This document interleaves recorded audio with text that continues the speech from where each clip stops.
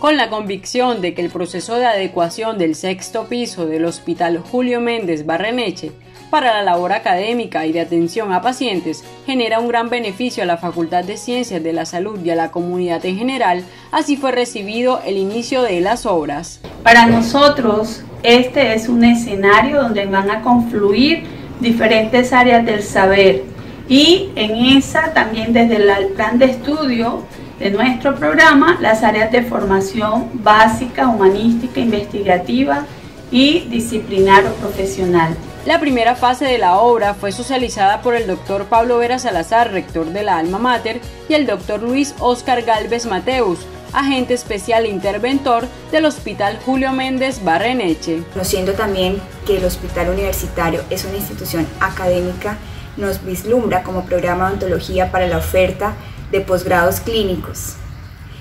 Eh, el programa ontología, en su razón de ser, que es el fortalecimiento y la formación del talento humano en salud,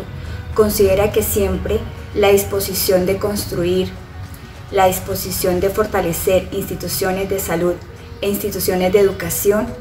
hacen que nos permitan avanzar como sociedad y como país. Como futuro profesional de la odontología, contar con un espacio de procesos hospitalarios permite el acercamiento con situaciones clínicas y personales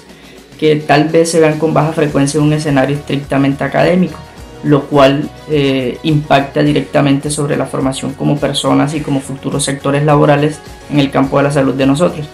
Asimismo, resulta significativo pues contar con la posibilidad de tener un espacio como esto que permita pues el desarrollo de otras actividades eh, relacionadas con nuestro quehacer profesional. Cabe recordar que este proyecto se ejecutará gracias al convenio establecido en el 2017 por la Gobernación del Magdalena, el Hospital Julio Méndez Barreneche y la Universidad del Magdalena, el cual consiste en efectuar un proceso de cooperación, docencia, servicios con impacto positivo en la población.